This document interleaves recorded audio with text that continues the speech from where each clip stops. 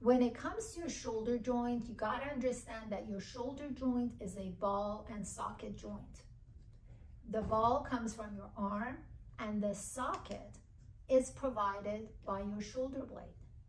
The socket also provides an opportunity for your collarbone to get connected to.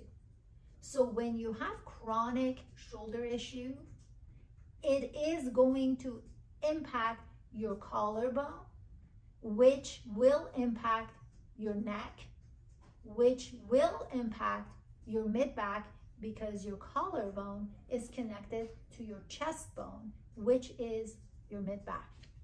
So in order to address a shoulder issue, the neck, mid back, the arm, shoulder blade have to be addressed. Otherwise, you will continue having the issues. When people have rotator cuff issues, that means all of those issues need to be addressed. And a shoulder surgery to fix the torn rotator cuff is not going to take away the biomechanical faults that reside within that joint complex. So in order to address these issues, we need to look at the mobility of the shoulder blade, of mid-back, of the neck, and the arm.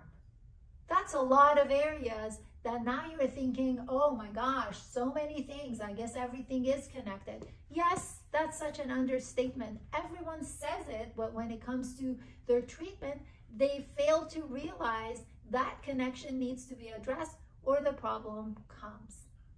Start paying attention to your biomechanical issues from uh, functional mobility perspective and learn the um, principles of movement which are so crucial in preventing injuries and causing issues that basically take away your ability to be active. And, you know, we're all about uh, the, you know, rejuvenation and uh, uh, longevity, but we fail to do the very things that are so simple to do. I hope this information made sense. If you're not following us on social media, you may want to consider doing that. I post a lot of tips. Some of the videos are longer, some of them are shorter and more of an information and heads up and uh, red flags that you need to be aware of. Bottom line is my goal is to share with you what I know from being in practice for as long as I have been. And I hope that you found the information valuable. Until next time, take care.